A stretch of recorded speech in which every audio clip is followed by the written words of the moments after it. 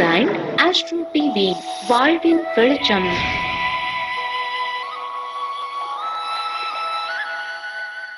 ஓம் குரு வாழ்க குருவே துணை. காஞ்சி மகா பிரிவா சரணம் ஆன்லைன் அஸ்ட்ரோ டிவி அன்பர்களுக்கு அன்பான வணக்கம். என்னை வாழ வைத்து கொண்டிருக்கும் வாடிக்கையாளர்களுக்கும் பணிவான வணக்கம். இந்த சேனலில் ஏகப்பட்ட நிறைய ஜோதிடம் சம்பந்தமான விஷயங்கள் அற்புதமாக பண்ணியிருக்கோம். நிறைய பாராட்டுகள் நிறைய வெற்றிகள் நிறைய கிளைண்ட்டுகளுக்கு முன்னேற்றம் வளர்ச்சி எல்லாத்துமே இந்த சேனலில் இருக்கிற ஒவ்வொரு விஷயமும் அவர்களை போய் நியாயமான முறையில் நன்றாக சேர்ந்து அவர்களும் ஒரு வளர்ச்சியை நோக்கி பயணித்திருக்கார்கள் என்பதில் நான் மகிழ்ச்சியும் பெருமிதமும் கொள்கிறேன். ஒரு ஜோதிடருக்கு வெற்றி எங்கே ஒளிஞ்சிருக்கு? ஜோதிடர் ஜெயிக்கிறது இல்லையா? கிடையாது. அந்த கிளைண்ட்டு நல்லா இருக்கணும். அந்த கிளைண்ட்டு நல்லா இருக்கணும் அப்படிங்கிறதுல நான் ரொம்ப ஆர்வமாகவும் உறுதியாகவும் இருக்கிறேன். அந்த கிளைண்ட்டு வந்துட்டு போனதுக்கப்புறம் ஏதேனும் ஒரு விஷயத்தில் அவங்க வளரணும் ஜெயிக்கணும். அதுக்கு நான் சரியாக கைடு பண்ணணும். அந்த கைடன்ஸு நல்லா நியாயமாக கரெக்டாக இருக்கணும் அப்படின்னு நான் டெய்லியும் நவகிரகங்களையும் குருமார்களையும் பிரார்த்தனை பண்ணுறேன் வாக்குப்பளிதம் ஆகணுங்கிறது என்னுடைய எண்ணம். வாக்குப்பளிதத்தில் தான் இவ்வளவும் நடந்துட்டு இருக்குதுங்கிறது உண்மை. இன்றைக்கி பார்க்குற ஒரு நல்ல தலைப்பு தசாபுத்தியின் சூட்சமம். ஒரு சம்பவம் நடக்க வேண்டிய காலம் இதுதான் அப்படிங்கிற ஒரு தலைப்பில் நம்ம பார்க்க இருக்கிறோம். உங்களுக்கு ஜாதகத்தில் சார் எனக்கு நாலு கிரகம் உச்சம். எனக்கு கிரகமாளிகா யோகம் இருக்குது கால சர்ப யோகம் இருக்குது அதுக்கப்புறம் பத்திர யோகம் இருக்குது சச யோகம் இருக்குது பிருகுமங்கல யோகம் இருக்குது அதே போல் சந்திரமங்கல யோகம் இருக்குது கஜகேசரி யோகம் இருக்குது என்ன யோகங்கள் வேணுமானாலும் இருக்கட்டும். யோகங்கள் அன்னதரித்திரம் ஆடி தரித்திரம் இல்லாத வாழ்க்கையை கொடுக்கும். தப்பு வராது. அப்படியே நகர்ந்துட்டுருக்கலாம் மெதுவாக கிரகங்கள் வந்து எண்ணங்கள். கிரகங்கிறது எண்ணம். தசாபுத்தி தான் செயல். ஒரு மனுஷனுக்கு ஒரு சம்பவம் நடக்கணும்னா தசாபுத்தி சம்மதிக்கணும். சம்மதிக்காமல் ஒரு சம்பவத்தை நீங்கள் நடத்திட முடியாது. ஐந்தாம் இடத்தில் ஒருத்தருக்கு புதன் இருக்குன்னா காதலிக்கணுங்கிறது ஒரு எண்ணம். அந்த காதல் நிறைவேறுமா இல்லையாங்கிறத பாவகங்களும் தசாபுத்தியும் சொல்லும். இல்லாமல் நடக்காது. இப்போ தசாபுத்தியில் சொல்லணும்னா எப்படி சொல்லணும்னா பதினொன்றாம் இடத்துலேருந்து ஒரு கிரக தசை நடத்துதுன்னு சொல்லணும். பாவகத்தோடு இணைச்சி தசாபுத்தியை நீங்கள் இணைக்கணும். கன்னிராசியிலிருந்து திசை நடத்துன்னு சொல்லக்கூடாது. இல்லை சிம்மராசியிலிருந்து திசை நடத்துன்னு சொல்லக்கூடாது. அந்த லக்னத்திற்கு அது எந்த பாவகம்? அந்த தசா புத்தி என்ன செய்யுது? ஒருத்தர் வீடு வாங்கணும். வீடு வாங்குறதுக்கான பிராப்தம் வேணும். நான் முயற்சி பண்ணிகிட்டு இருக்கிறேன் சார். என்னால் வாங்க முடியலன்னு சொல்கிறாருன்னு வைங்க. அவர்களுக்கு அவர் ஜாதகத்தில் ரெண்டாம் அதிபதி நாலாம் அதிபதி பதினோராம் அதிபதி இந்த மூணும் லிங்க் ஆகி தசாபுத்தி நடந்தால் அந்த தசாபுத்தி காலத்தில் விரும்பினாலும் விரும்பலைனாலும் இடம் நிலம் வீடு வாகனம் அமைந்தே தீரும். அமையாமல் கட்டாயம் போகாது. கண்டிப்பாக அமையும். அது எப்படி சார்னா ஒரு உதாரணத்துக்கு சொல்கிறேனே ஒருத்தர் ரிஷப லக்னம்னு வச்சுக்குவோம். நாலாம் இடத்துல சிம்ம வீட்டில் புதன் இருக்கார். ரெண்டுக்குடையவர் நாலாம் இடத்துக்கு வந்துட்டார். அந்த ரிஷப லக்னத்திற்கு பதினோராம் அதிபதி யாருன்னா குரு. அந்த குருவும் புதனோட சேர்ந்துருந்தாருன்னா அப்போ ரெண்டாம் இடம் நாலாம் இடம் பதினோராம் இடம் லிங்க் ஆயிடுச்சு. அந்த இடத்துல அந்த திசா அல்லது புத்தி காலங்களில் அவருக்கு இடம் நிலம் வீடு வாகனத்தை கொடுத்துரும். அப்படி இல்லை அப்படின்னா இடம் நிலம் வீடு வாகனம் அமைகிறதுக்கான ஒரு நல்ல ஒரு பிளானட் கிரகம் அப்படின்னு பார்த்தீங்கன்னா புதன் காலி நிலம் செவ்வாய் வீடு சுக்கரன் வாகனம்.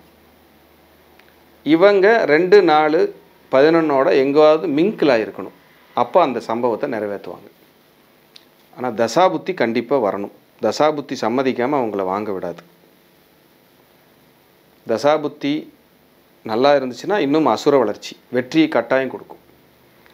தசாபுத்தி சம்மதம் இல்லாமல் வாங்கியிருக்காங்கன்னா பாவகங்கள் சம்மந்தப்பட்டு க அட்லீஸ்ட் கோச்சாரத்துலையாவது அந்த ரெண்டு நாலு பதினொன்றாம் அதிபதிகள் எங்கேயாவது ஒரு பக்கம் ட்ராவலாக இருக்கும்போது தான் அந்த சம்பவத்தை நடத்தியிருக்கும்.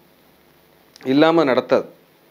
கோச்சாரத்துலேயும் சொல்கிறேன் அப்போது ஒரு ஜாதகத்தில் ஒரு ஜாதகர் ஒரு வளர்ச்சியை நோக்கி வெற்றி அடைகிறார். நம்ம கிராம வழக்கில் நிறைய ஊரில் பேசியிருப்போம். ஒன்றும் இல்லாமல் இருந்தாரப்பா. இன்னைக்கு பார்த்தீங்கன்னா ரெண்டு காரு நாலு வீடு நல்ல ஒரு சூப்பர் ஸ்டைலில் இருக்கார். நல்ல வளர்ச்சி. பேங்க் பேலன்ஸு பத்து ஐம்பது லட்சம் வச்சுருக்காரு. ஒன்றும் இல்லாமல் இருந்தார். இந்த பத்து பதினஞ்சு வருஷத்தில் வளர்ச்சிம்பாங்க. அப்போ அந்த பதினாறு வருடம் குரு திசை எங்கேயோ ஒரு முன்னேற்றத்தை அவருக்கு கொடுத்துருக்கும். இல்லை இந்த இருபது வருஷத்தில் வளர்ச்சின்னு சொல்லியிருப்பாங்க. அப்போ இந்த இருபது வருட சுக்கர திசை வளர்ச்சி கொடுத்துரும்.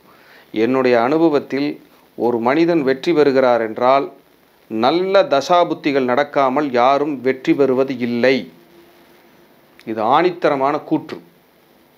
கோச்சாரத்தில் குரு வர்றாரு. கோச்சாரத்தில் சனி வர்றாரு. பதினொன்றில் சனி பதினொன்றில் குரு வந்துட்டார். இதெல்லாம் அப்புறம். இது வந்து ஓகே பரவாயில்ல.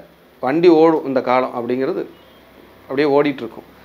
நல்ல வெற்றியையும் வளர்ச்சியும் சேர வரணும்னா தசாபுத்தியும் இருந்து கோச்சாரமும் இருந்துட்டால் எவர்கிரீன் சக்ஸஸ் தான். அப்போ தசாபுத்தியோட சூட்சமத்தில் தான் உங்கள் லைஃப் ஒளிஞ்சிருக்குங்க. அதுலெல்லாம் மாற்றுக்கிறதுக்கு இடமே இல்லை. உதாரணத்துக்கு ஒருத்தர் மேச லக்னத்துக்காரரு அவருக்கு நாலாம் இடத்துல புதன் இருக்கார். அவர் மூணு ஆறுக்குடையவர் புதன். அந்த புதன் கடன் நோய் வழக்க கொடுத்தே தீர்வர். தசாபுத்தி தசாநாதன் எங்கு நிற்கிறானோ அந்த வீட்டு வேலையை முதலில் செய்வார். இது உங்கள் ஜாதத்தில் அப்ளை பண்ணி பார்த்துக்குங்க. இப்போ தசாநாதன் நாலாம் இடத்துல இருந்தார்னா அந்த தசாநாதன் இடம் நிலம் வீடு வாகனத்தை கொடுப்பார். அடுத்த ரூல் உங்களுக்கு ஒரு சம்பவம் நடக்கணும்னா இந்த ரூல் அப்ளை அப்ளை பண்ணணும். ஒருத்தர் திசாநாதன் ஆறாம் இடத்துல இருக்காருன்னா அவருக்கு கடன் நோய் வழக்க கொடுக்காம அவர் வெளியேற மாட்டார். அவர் என்ன யோகர் பாவர் உபஜயஸ்தானம் எங்கே வேணாலும் இருக்கட்டும். இது இல்லாமல் உங்களை வாழ விடாது. இதோ உண்மை. தசாநாதன் சம்மதிக்காமல் உங்களை வளர்ச்சிக்கு கிரகங்கள் அழைத்து செல்லாது. அதனால தான் எந்த திசை நடக்குதோ அந்த தசாநாதர்களுக்கான பரிகாரத்தை ஸ்ட்ராங்காக பண்ண சொல்கிறோம் அப்படி போய் நிற்கும்போது சரணாகதி அடையும் போது நம்மளுடைய வளர்ச்சிக்கு கையை பிடிச்சி அப்படி மெதுவாக கூட்டிகிட்டு போவாங்க. இதெல்லாம் தசா புத்திகளுடைய சூட்சம் உங்கள் ஜாதகத்தில் நடக்கிற தசா புத்திகளை அனலைஸ் பண்ணி பாருங்கள் இந்த காலகட்டம் இப்படி இருக்கும் அப்படின்னு. நிச்சயமாக அதற்கான விடையை சொல்லும் அது. அதற்கான பரிகாரங்கள் அதற்கான வழிபாடுகள் அதற்கான முன்னேற்றங்கள் இதெல்லாம் நடக்கும் அந்த காலகட்டத்தில். நல்லா இருக்கிற கிரகத்தை நீங்கள் ஆக்டிவேட் பண்ண வேண்டிய அவசியமே இல்லை. அது என்ன தேவையோ கட்டாயம் கொடுக்க தான் போகுது. நல்லா இல்லாத கிரகத்தையும் ஆக்டிவேட் பண்ணக்கூடாது. அது தொந்தரவையும் கொடுத்துரும். நல்லா இருக்கிற கிரகத்துக்கு டைரக்டாக நீங்கள் கிரகத்தவே போய் வழிபாடு பண்ணலாம். நல்லா இல்லாத கிரகத்திற்கு கிரகத்துக்கு போகக்கூடாது. கிரகத்தின் அதிதேவதைக்கு தான் போகணும். இதுதான் இதில் இருக்கிற சூப்பர் சூட்சமம். குரு சூப்பர் தைரியமாக ஆலங்குடி போயிட்டு வாங்க. சனி கெட்டு போயிட்டார். திருநள்ளாறு போயிடாதீங்க அதிதேவதைக்கு போங்க. ஆஞ்சநேயர் போகலாம் சாஸ்தா போகலாம் காவல் தெய்வங்களுக்கு போகலாம். சப்போர்ட் பண்ணும். இப்படி ஒரு ஜாதகத்தில் சூட்சமங்களை வைத்து தசாபுத்திகளுக்காக ஒரு வந்திருக்கிற உங்கள் கிளைண்ட் வர்றாங்கன்னா அவங்களுக்கான வழிபாடுகளை இயக்குங்க. வழிபாடுகளை கொடுங்க. நிச்சயமாக அவங்க நல்லா இருப்பாங்க. ஏன்னா ஜோதிடரை நல்வழிப்படுத்துவாங்க நம்மளை காப்பாற்றுவாங்க நம்மளை நம்பி வர்றாங்க கிளைண்ட் அவங்க நம்மளை வாழ வைப்பாங்கங்கிற ஒரு நம்பிக்கை ஓரமாக ஒரு ஒளிஞ்சுக்கிட்டே இருக்கு அவங்கக்கிட்ட நம்மக்கிட்ட வரும்போது.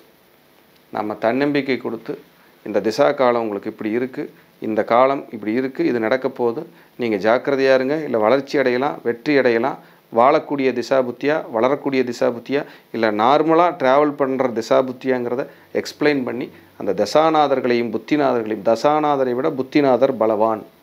புத்திநாதர் ப்ரெசண்ட்டில் இருக்கிற விஷயத்தை தூக்கி அப்படி போடுவாருங்க டேபிளில் அவர் என்ன செய்ய போகிறாருங்கிறதையும் கவனமாக பாருங்கள் பார்த்து உங்கள் வளர்ச்சிகளை தெரிந்து கொண்டு நல்ல வாழ்க்கை வாழ அனைவருக்கும் என் மானசீகமான ஆசிகள். மீண்டும் ஒரு நல்ல பதிவில் உங்களை எல்லாம் சந்திக்கிறேன். அதுவரை உங்களிடமிருந்து தற்காலிகமாக விடைபெற்றுக் கொள்வது பிரசன்ன ஜோதிட ஆராய்ச்சியாளர் அவினாசியிலிருந்து வி ஜோதிலிங்கம். நன்றி வணக்கம் வாழ்க வளமுடன்.